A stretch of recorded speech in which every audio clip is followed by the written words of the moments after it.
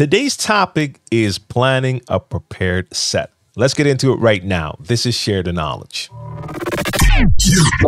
Microphone check one two one two. What's going on? Welcome to the Share the Knowledge podcast for DJs. I'm your host, DJ TLM. This is episode 89, and today's topic is planning a prepared set. If you've been following me for any amount of time, you've probably heard me mention that I mostly play freestyle. That being said, I definitely have experience playing prepared sets. So, in today's episode, I want to talk about my process if I were to prepare a set. I also want to talk about the pros and cons of using a prepared set because there's definitely pros and cons when it comes to that. I also want to mention that this is part three of sort of a podcast trilogy. So make sure you check out episode 87 and 88. Episode 87 was all about selecting tracks for a set. Episode 88 was all about preparing your music files for a set. And now we're going to talk about actually preparing a set. Before we get into it, if you want to check out my other DJ related content, make sure you follow me on YouTube. The channel is DJ TLM TV. And on all other social platforms, my handle is DJ TLM. So that's Mixcloud, SoundCloud, Anchor, Instagram, Twitter, Facebook, LinkedIn, Twitch, you name it. I'm there. Follow me. And that's it for the plugs. Let's just get into the episode. So, first off, what is a prepared set? Well, simply put, after you select songs and you prepare your music files, so you add your cue points, maybe you set some loops, maybe you even edit certain tracks.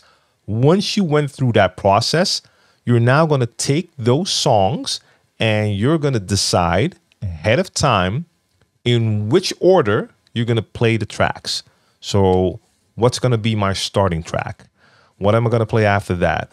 After that, okay, you're going to go through that entire list, make that list. Then you're going to decide when and where you're going to do the transitions from track to track. And after you've done that, you're going to practice that entire process. So at the end, you're going to end up knowing exactly what to play. You're going to know the tempo you have to go through. You know the transitions you're going to do. You are now prepared to play that specific set. But what is the purpose of actually playing a prepared set? For some of you, it could be that you just don't have the experience of reading the crowd yet, because this is something you have to learn. If you've been playing in your bedroom, playing for people is a different ball game.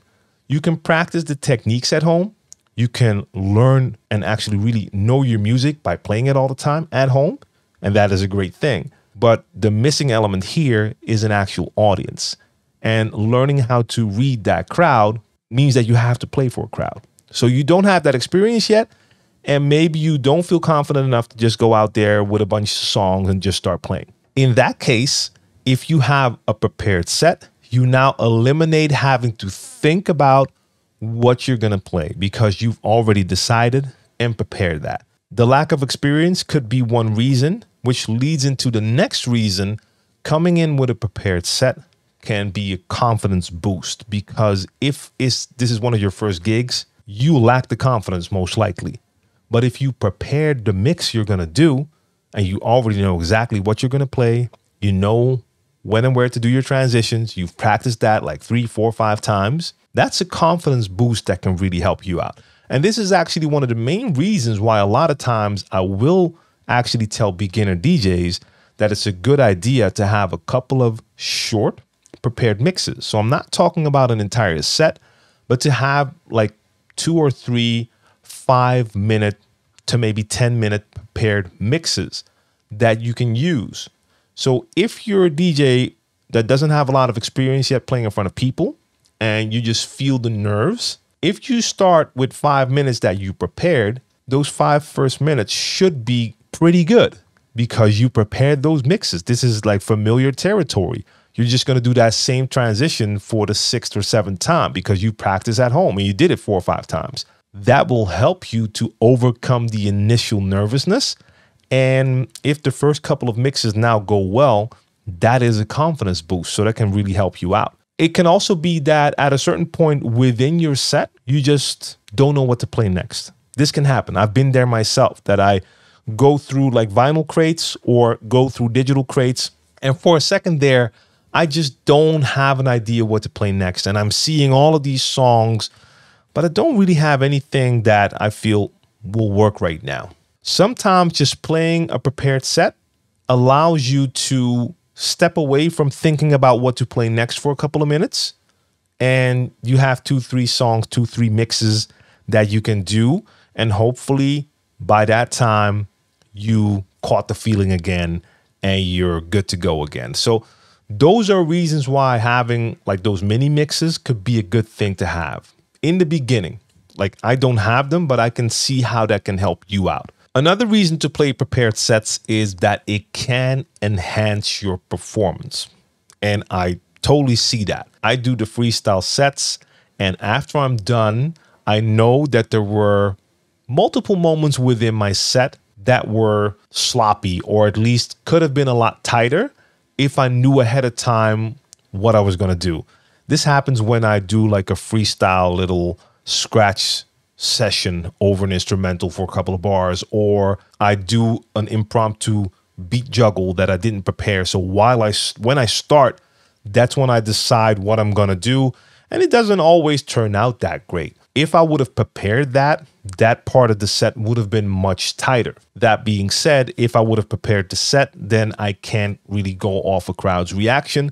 Now, one could say if you're live streaming, even if you have an audience, you're not really reading a crowd's reaction. So you could do more prepared sets.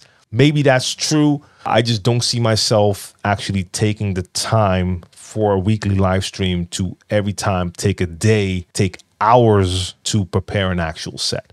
I have been in situations where I thought after the fact, I should have prepared this set. A set for the radio is one of those examples. Again, you're not playing for an audience, you're actually not getting any feedback at all. And I did those sets freestyle, and I could feel that there was a lack of energy on my part because I wasn't receiving the feedback because I wasn't playing for an audience. So, in that situation, the prepared set would have definitely enhanced my performance, which would have been better promotion for myself. So, there is definitely a purpose for prepared sets on certain occasions. I also see DJs who go on tour and decide to tour with a prepared set. Now, not all DJs, but I've seen DJs do this. Also, very good DJs who can freestyle with the best of them, but still choose to do a prepared set for a tour. Partially, I think this is also like a performance thing because if an artist goes on tour, they have a set that they're going to do on that tour. And like I said in the beginning, I've been touring with Brainpower for 23 years. When we did tours, and when we do tours, we're not deciding on the spot what we're going to do. We're going to prepare that set. So he's going to decide, okay, these are the songs I want to perform during this tour. And let's find out in which order we're going to do the songs. Are there any special things we're going to do within the songs or between the songs? So something like a DJ routine, or this is where I'm going to talk. This song is going straight into that song, you name it then you prepare that and then you go on tour and you're doing that performance as an artist. Now I see DJs do the same thing when they go on tour. They're touring around different countries and in every venue they end up they do that prepared set. I just personally haven't been a fan of it even though I totally understand that if you go to different cities in different countries all of those people are going to hear that set for the first time.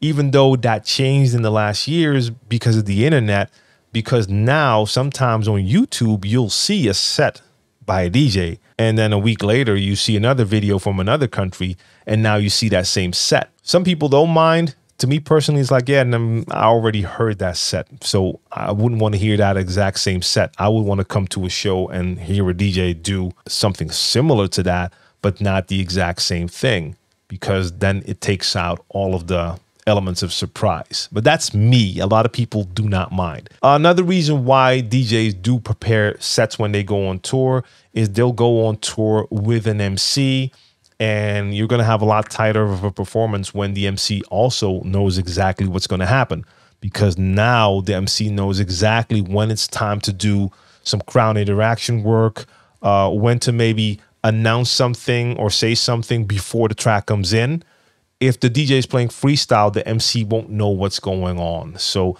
I see reasons to prepare a set. I just don't do it a lot. Now, let's go through some of the times that I did actually prepare my sets. And one of the things I can think of is when I did my mini mixes on YouTube. So, years ago, I did a couple of mini mixes. I did an LL Cool J, I did a Gang Starr, and they had to be mini because at that time, YouTube had a restriction. You couldn't go over, I think, 10 minutes first. After that, it became something like 15 minutes. But I was going to do a short set, and I wanted that to be a tight set. So again, you're going to record a video that you're going to upload. So you're not playing for a crowd. So this is not an opportunity for you to get feedback from your crowd while you're playing. It's going to be a short video and you want that video to be as tight as possible, the performance. And also, if I'm doing that freestyle, I'm going to waste time because if I'm doing a freestyle set, once I mix a new track in, after that, I'm going to look in my crates, I'm going to look for the next song to play. If I only have a 10 minute window, you don't want to waste time looking for songs. So, in that case, when you have that short time, it's a much better option to go for the prepared set.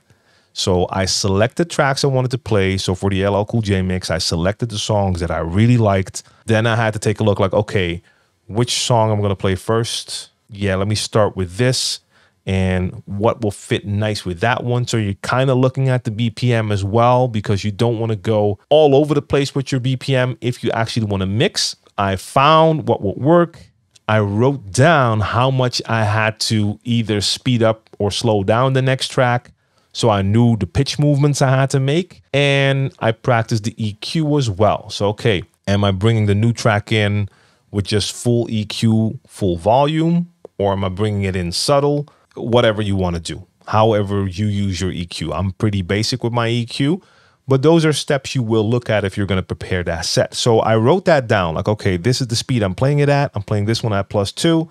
The next one is uh, minus one. Sometimes minus one when I bring it in and then slowly bring it back to zero. Whatever the case may be, I write that down. Then I practice it. By doing that, by preparing that set, I was able to get more tracks, a more condensed set into the 10 minutes, which uh, in the end gives you a better result for such a video. Now, if I'm doing a live set and I'm playing somewhere for two hours and I'm doing an LL Cool J tribute, I probably don't plan the entire two hour set. But if it's a special night and it is a tribute, maybe I do want to have a couple of portions in there that I do want to prepare just to make sure we have a couple of really memorable tight moments in there. Uh, I've done that once or twice that I just prepared like uh, a little part of like a, a 90 minute set. And I had like five minutes in there that was prepared. So that's not a lot, but I wanted a little something in there that I actually had to work out how I was going to do it. And I prepared that. Mini mixes on YouTube, I prepared those.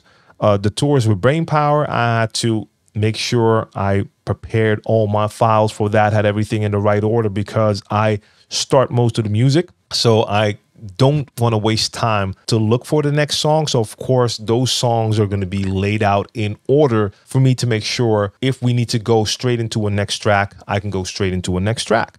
Sometimes I'll have a track playing, an instrumental playing on one side, I'm doing scratches on the other side. And after that, we have to go straight into a next song.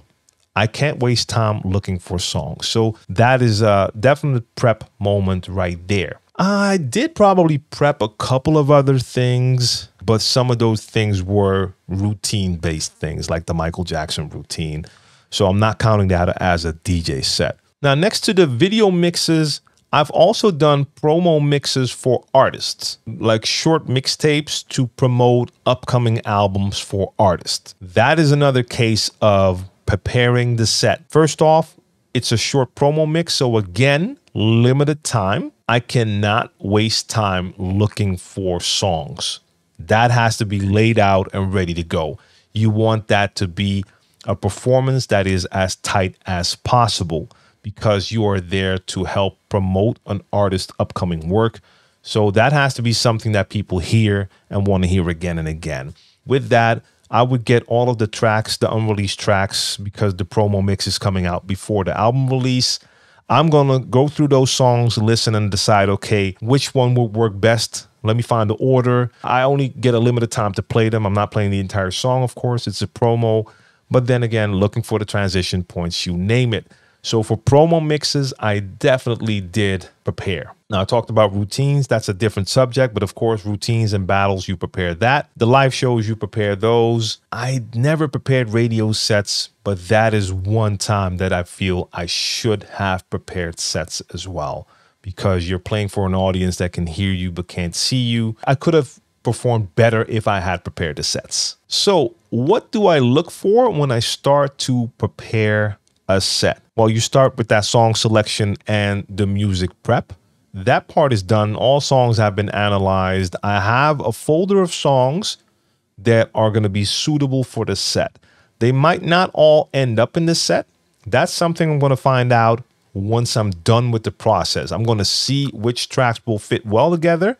I know for a fact in advance there's going to be songs that don't make the cut. Maybe I'll leave them in a separate folder just in case if I need more songs, but they won't end up in there. So I'm probably selecting twice the amount of tracks that I need, or at least 50% more than I need.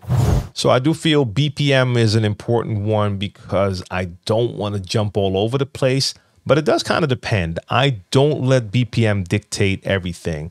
It has to be about the vibe as well. So if it means that sometimes I do have to make larger BPM transitions, that's not going to hold me back. But at first, I do try to start at a certain point. So if I'm doing an entire set and this is going to be a set where I actually do get to start with a bit of a warm up, I will probably start with a lower tempo and take a look at the vibe of the songs. But this depends. If you're doing a one hour set and you're playing prime time, there's no warm up songs in there. You're going to be starting at a totally different energy level. So, this is something you have to look at for yourself. This is something I look at when I start to create the order of tracks. Does it start with a warm up vibe? Do I need to go straight into full on blast high energy? Is my entire set warm up so can I, stay, can I stay mellow throughout the entire thing? Or do I just want to have it all in there? And last but not least, let me not forget about one of the most important ones for me my mixtapes. When I made my mixtapes, I would definitely prepare. There's a difference between recording a live set or making a mixtape. And I'll talk about that in a separate episode of the podcast. But when I did my mixtapes, I for sure prepared those because this is something I wanted people to listen to forever. So I wanted that performance to be as tight as possible especially in the beginning days when I was recording my first mixtapes on tape and I had to do a one take, I prepared to make sure that one take came out as tight as possible. So let's get into the process. How do I begin when I have my folder of songs? The first thing I look at when I start to make an order is, of course, the first track, the opener. How am I going to start my set? Now, again, it's very important. It's going to depend on what type of project I'm doing. If I'm doing a warm up set, I know I can start on a mellow vibe. And maybe by the end of the warm up set, the energy level is going to be a bit more up, but I can definitely start with a lower tempo with a nice relaxed vibe. If I'm preparing a set for prime time, there's not going to be a warm up element. I need my first track to be something that immediately catches your attention. It has to have a certain amount of energy. Something has to happen, something that's going to just capture the crowd's attention, like I said. It kind of depends on what I'm doing, what type of set I'm doing. If I'm doing a mixtape, most of the times I will start with something that has a warm up feel to it, even if it already has a certain amount of energy. But I do want there to be a certain line that we can follow that goes up. And a lot of times with my mixtapes, especially my later, later mixtapes, that was the case that it would start at a certain point and that could all already be like quite a bit of energy. It doesn't have to be like super slow, super low energy, but it would have a certain level and then take you up. And if it was like a 60 or 90 minute mix, you could feel that like by minute 45, you're going to be way higher up in energy, possibly also BPM, but that doesn't have to be the case. Now, talking about BPM, I probably start on a lower end of the BPM range that I'm using, but I'm not going to stick to a BPM range. So it doesn't mean that I start slow and that I continuously increase while the tape continues. Sorry, I still call it a tape, but the mix continues. That doesn't have to be the case. I will try to stick to a BPM range for a while because I don't want it to be that from song to song you're switching BPM ranges. You don't want to go 85, 110, 90, 120. That that that's not going to sound good. You're going to have too many crazy type of transitions. So yes, I will start with a BPM and I will try to take it from there and stick around that BPM or slowly go up. But if I feel that I need to go from one track to another track that is in a different BPM range, then I see, I look at the rest of my tracks to see if that is actually going to be a possibility. And sometimes if I find like, hey, this track is super dope, but it's the only track in my entire set here that really has a different type of BPM, I might have to choose to just skip it because it doesn't really make sense for me to switch to a totally different BPM only to have to go back to the range where I was already in. So these are things you can look at while you see your selected tracks. Like, okay, BPM wise, which tracks would fit? And okay, I have a bunch of songs in that range, but I also have a bunch of songs in a different range. Now I'm going to find out how I can combine the two and make that work. Now, I'm definitely going to be looking at energy. Like I said, energy is important. I'm not going to start because sometimes I've heard mixes that would start with an incredibly powerful, energetic song, and the next song would be way lower in energy. And then you're like, whoa, wait a minute, what just happened? you pulled me in with like high octane energy and now you're taking me back down straight away. That's a really weird emotion to have at the beginning of a mix. So if you start high energy, then you should stay high energy. Now, possibly you could maybe halfway through a mix, like totally bring it down and then go back up again. But you do want to be consistent in your beginnings. If you start with a mellow vibe, you start with the mellow vibe and slowly work your way up. If you start with energy, you have to stick with that energy uh, for a while. Now, there are other things that you can take into consideration depending on probably your selection process as well. If there's a certain theme going on and you have song titles that have the same type of topics, maybe you want to link certain tracks because you know this track has a title with a certain word in it and you have another song that has a hook where they use that same word, that gives you possibilities to maybe find creative ways to blend the two because they have a similar, either similar topic or similar words in there. This is why it's important to know your music. So when you're looking at your selection, you can see like, ah, that's cool. I can fit those two together. And then from there, I can take it to this song because that kind of leads into that next song that also has the same topic or same theme, you name it. I mean, there's multiple ways to look at your songs. Then, since wordplay is also a thing, I can also take that into consideration. So if I look at a song and I know that there's a phrase in that song where the beat cuts out and the artist says something and ends with a word, and I see that I have another song that has that word as the title, you don't have to do it but there's options there. You can start to get creative that way. So that's why you go through your music, know your music, look at the titles, BPM, all of those things I take into consideration when I start to make a track list. Now, the track list I end up with will most likely be my order, but now I have to actually test everything. And sometimes I do try out things that I thought looked good on paper, but then when I try them together, either they don't sound right together or they don't have a good transition option or not as good as another song that I also have in my selection.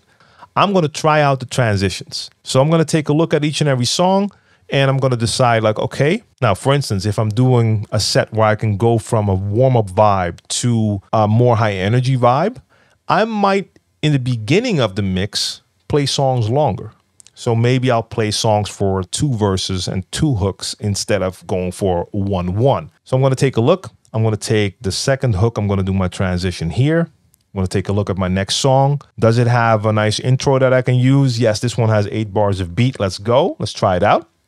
So now I'm going to match the beats make the tempo work, bring it in, listen to how it sounds. Okay, in this case, I can just do a clean eight bar transition, all good. Or maybe I decide right then and there on the spot, like, okay, I'm gonna do four bars, and after those four bars, I'm gonna scratch with the outgoing track because that's gonna sound good with this one. Then I hit the echo, and then the new one begins.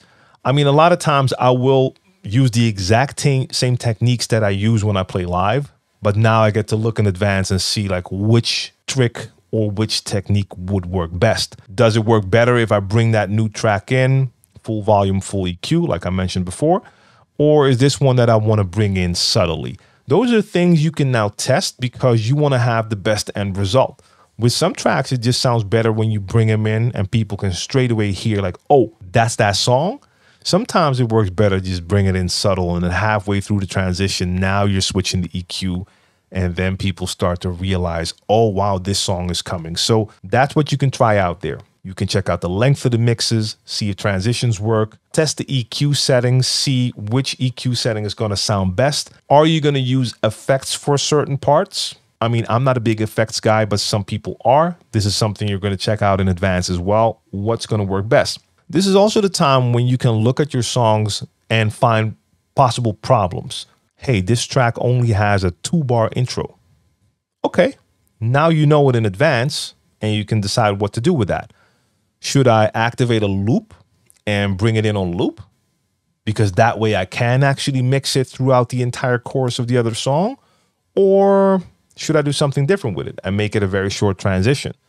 Now, I probably choose the loop because that's going to work. Or if I want to, I can actually go back into the editing process and just copy paste that beginning to make it from a two bar to an eight bar beginning. These are things you're going to look at. Same thing with your cue points. You set cue points for the tracks when you were preparing your music, and now you got to see if there's a special reason for certain cue points. Okay, this cue point goes to a break. I was only going to play this track for one verse, one hook, but this track has a really dope break, which comes later in the track. So maybe instead of just playing one verse, one hook, I'm going to do the verse and then from the verse, either play the hook and then go into the break or do the verse and then do the break and go to a hook. These are things you can decide, which is a great thing about preparing a set because when I'm freestyling and I'm playing live, I don't have time to decide to do that unless I know the song really well. But otherwise, I might miss that opportunity. And sometimes after I've done a set, I do realize, like, ooh, I could have done that because that's the song with the break I forgot. If I would have checked that in advance, I could have done that. So while you're going through this process and you're deciding which tracks you're going to play in which order, you're looking at the BPM, you're looking at your EQ settings, make sure you take notes. So make sure you write this down on your computer, on your phone. So you have a nice little notepad which can tell you exactly what to do. Actually, real funny. I was cleaning up here in the studio and I found this. If you're listening to the podcast, you won't be able to see it. If you're watching the video, you can see it, but all you just saw is that I'm holding a piece of paper. This right here is my note from my Gang Starr mix that you can still find on my old YouTube channel, my DJ TLM YouTube channel. This is the entire track list. It's 25 songs it tells me which song I start with. It tells me the speed. So track number one in this case is a long way to go. I played it at plus four and it says L, meaning that I wanted this song on the left deck. Also important for some of you, for me, for instance, I can do different scratches on the left and on the right deck. While I'm doing the preparation process, I can decide like, hey, I'm going to start with song one on the right side because I want to bring song two in and do a transform scratch, which I can do better on my left deck. Some of you might not have that issue. I have that issue. So I decide in advance where I'm going to place the songs. Then the second song was full clip, zero on the right side. Then the third song is BYS, plus one and a half, left deck, and then it says loop. Then I have a couple of other suggestions or things here. So all tempo and L R L R. And then I have one that says minus two and a half, and then it says zero, meaning that I started it at minus two and a half, and then I brought it up slowly, I guess, to zero. And then I have a song that says that I have to cut the song at a certain word. So all of these little notes right here, they help me out when I start to actually practice the set because now I've been through it. I've made a track list. I tested the transitions and these transitions work. I know the exact tempo everything has to play at, know which deck I have to load it into. Now I have to practice it to see if I can actually do it as smooth and fast as possible. So you start to practice that set, and that is also going to show if there are certain pitfalls you weren't aware of. So, okay, this takes me a little bit longer to do. So, for instance, with the one song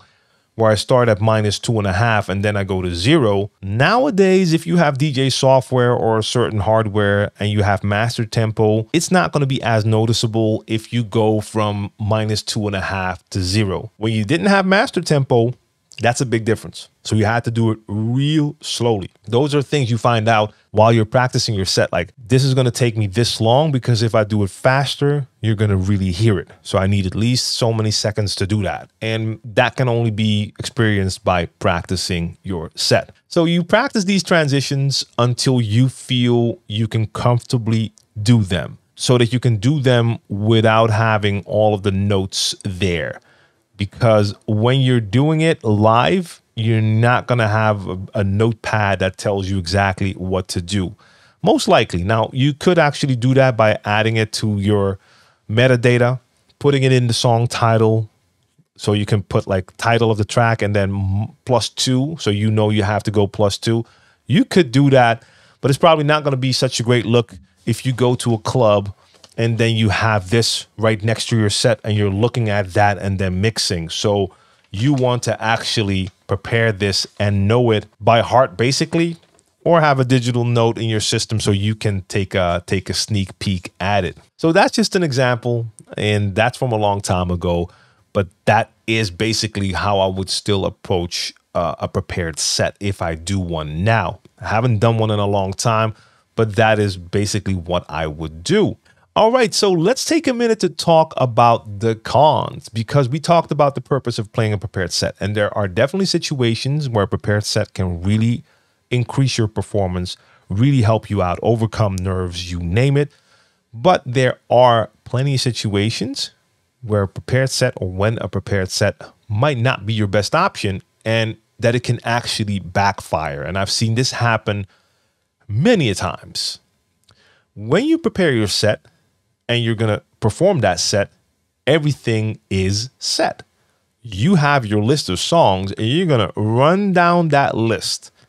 But what happens when you play in front of a crowd that is not into your set? And like I said, I've seen this happen plenty times. You start to play songs, and I see DJs playing. And by song three, it's pretty obvious that the crowd that is attending that venue doesn't feel that style at all. And now you continue on with song four and five and six. And the crowd is leaving the dance floor. Some people are even leaving the venue. And you continue with song seven and eight and nine and 10. People start to complain. They complain to the bouncers. I've had people come up to me because I did a set. It was the other DJ's turn, famous DJ, not naming names. But that DJ came in with an idea of, okay, this is what I'm going to play. That did not work for our crowd here in Amsterdam. And after like 15 to 20 minutes, I had people, and I mean people after people after people coming up to the DJ booth asking and some begging, like, when are you going to play again? So, me and also another DJ from Amsterdam, because they knew we played what they liked. We knew that crowd. This DJ had no idea. This was an American DJ, and that DJ came in with a style that was hot at the moment in the US, but was not really, it, it hadn't caught on here yet. So it really fell on deaf ears. And in this case, the DJ did not have the foresight or insight or even sight to see that it wasn't working. So the biggest con is if you prepare a set and your crowd doesn't align with what you selected, then your set is not going to work. Some DJs are able to just switch. So some DJs might come in with a prepared set, and if they see it doesn't work, they have the the the skill, the experience to just say, okay, this is not going to be it today. Let me grab this folder and let's see what they do like. But a lot of DJs who play, play prepared sets play prepared sets because they just don't play freestyle. So this is their go-to way to play. That happens. I see those DJs and they don't know what to do because they already went down this path of their prepared set and it's not working. They need to take a turn, but they don't know how to do that. That to me is the biggest downside of playing a prepared set. Now, for some DJs, this will never be an issue because you have certain DJs that will attract a crowd, and that crowd is actually their fan base. So wherever they go, they're playing for people who come to hear exactly their style. If that's the case, you basically can't go wrong as a DJ because you know, like, hey, this is how I play. I'm gonna play, I'm gonna make a selection in my style, and the audience that is there is there to hear me play my style. If that's the case for you, you are one of the lucky ones, and then you can choose to do a prepared set and be fine. I would say there's no reason to do that because that crowd is going to love your style anyway. So you could also just play freestyle and have fun with it. But if you have the time and you like prepared sets, that is one way to know that you won't bomb with a prepared set. But for a lot of DJs, you play in venues for crowds that are not there specifically for you. And then you better have very good knowledge of what the crowd wants to hear at that venue. Because if you come in with a prepared set and the set uh, consists of songs that they don't like, that's an issue. The second con is not that the people don't like what you play, they're actually really into what you play, but you're the third DJ playing, and the two DJs before you basically played everything you have in your prepared set. That is also something I've seen happen a lot. Your set was actually pretty cool. Like the songs you went in there, they were dope. But if that song was played 20 minutes before you went on, it's not going to have the impact because the crowd is going to be like, yo, did you not pay any attention to just what happened? We've been chilling to these songs for the last hour, and now you're playing a lot of the same songs. What's going on? Sometimes the crowd will just be like, okay, cool. Yeah, I mean, we love the song. We already heard it, but we'll just continue to dance. But the energy's not going to be there. They're not going to give you the same type of reaction compared to when they hear it the first time. And I've also seen DJs panic, DJs that still had to go on. And then the DJ before them played a song and they walked over to the DJ with like eyes this big, like like a deer in headlights, like, get that song out. I'm I have that song on my set. Your DJ is like, what do I have to do with your set? I mean, I'm playing here too. So they panicked because they knew, like, hey, I prepared a set and now you're playing a song from that set. And they knew that it was not going to have the same impact if they now still played it, but they didn't really want to adjust their set or didn't know how to do that on the spot. So that's a tricky one. Now, what some DJs will do is they'll actually make a list, a do not playlist. There's DJs out there that do that. I opened up for Grandmaster Flash a couple of years ago here, and he had one of those lists. And uh, I mean, much respect to the legend for sure. And he had a pretty dope set, but that list was very long. Ton, a ton of like hip hop hits, like the golden era hip hop, hip hop hits. He basically had most of them on that list, and that was a do not playlist. Now, luckily for me, I was playing a set before him. I opened up for him. I opened up on a warm up vibe that had totally different songs in there anyway. And the songs in there that had more energy weren't really the songs that he was going to have in there because I knew he was going to be the primetime DJ. So I was not going to play a lot of the bangers anyway, but that is one way some some people will try to prevent that from happening because he had a prepared set. So he wanted to make sure no other DJs would play the songs because he knew that was going to take away from the impact. And again, the one last thing that I would consider a con for some is the fact that preparing a set takes a lot of time. And especially if you are a busy DJ or DJing is one of the things you do and you have a lot going on every day, finding the time, the hours it would take to prepare a set, and it takes, it's going to take hours and if you have multiple gigs every week and you want to prepare different sets for different venues, that's going to take up a lot of time. And I know a lot of us just don't have that time. But you also don't want to play the same prepared set for weeks on end in different clubs in the same area. That's not going to work either. So, to each his own, and I do believe it's a good idea to make sure you at least try to be able to play freestyle. Try to be able to play for an audience just by reading the crowd. And again, like I talked about in the previous episodes, when you select your tracks and you prepare your music, going to a gig prepared will help you out a lot. So, not having a prepared set, but going there prepared so you know you have a selection of music based on the people that attend a club like that.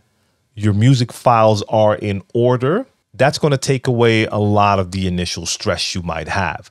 Now, if you did your homework right and indeed your selection fits the crowd, then most likely what you play is going to work but if you have the skill to read the audience's reaction, they can steer you like, okay, they like this, but they really like this, or they don't like this as much. So let me try this. Cool. That is what they like. I got more right here. Let me test this. Oh, yeah, that works too. Cool. I can do that. If you at least have that skill, you learn how to do that, then you won't panic as much when you do have something prepared and it doesn't work. So, playing prepared sets can be dope, but try to be able to switch if necessary. That can save you for real. So, that's it when it comes to my experience, my process with prepared sets, the pros and cons of playing prepared sets. And I think, like I said in the beginning, for beginner DJs, it can be a good idea to prepare a couple of short mixes just in case you either feel so much anxiety coming up when you need to start a set that you can say like oh i'm just so nervous i can't think right now. Play the five minutes of a prepared set that you have just to give yourself that starting point to take it from there. Now of course if you know that you're just hella nervous then you should probably prepare your entire sets but again, you do also want to take the opportunity to learn how to read a crowd and work off that. What you can do when you're playing your prepared set is still try to learn how to read that crowd because some people will play their prepared set and just focus on their set and forget to look at the audience. That's my example about the American DJ. That DJ clearly was not paying attention to the crowd because he was killing the dance floor, but not in a good way. Like, like the dance floor was getting emptier and emptier. He was parting that like the Red Sea. That was not a good look. If he was paying attention, he could have caught on like, oh, this is not working. Because I know that DJ knows more than the stuff he was playing then. I know that. But he wasn't paying attention. So if you're playing a prepared set, make sure every time you bring in a new song, you look at the crowd, you listen. Did they react when that came in? Did you hear the crowd react when you brought that new song in? Are they still dancing? Are they showing more energy, like like like more animated moves, more hands in the air? You name it. All of that stuff matters, and you can actually practice that during your prepared set. Now, even if you don't have the skill yet to make the switch, so your prepared set isn't working, if you at least practice to be aware of the fact, like, oh, I lost them at that track now you learned a little bit about reading the crowd. It's not going to help the rest of your set that day, unfortunately, but it is an option to learn. So please do not just focus on your prepared set, still look at the crowd. That's it for episode 89. Episode 90 is going to be about, I don't know yet. So make sure you tune in next week. I hope you enjoy this new format. So if you're listening or watching on a platform where you can leave comments, let me know if you like the new podcast format where I just take one topic and dedicate the entire episode to that one topic. I personally really enjoy doing it this way. This to me feels like it adds more value compared to doing the Q&A here. And if you do want to ask me questions and join a Q&A, you can join my live Q&A. I do STK Live, Share the Knowledge Live, every Wednesday. So make sure you tune into that, 8 p.m. Central European Time and that is basically everywhere. So you can check that out on Mixcloud, on Facebook, on YouTube, on LinkedIn, on Twitter, and on Twitch. So just make sure you follow me on social so you don't miss out on the new content, the new live streams, and the new podcast episodes. If you're listening to the podcast on a platform that allows you to rate the podcast, do me a favor and please rate this podcast.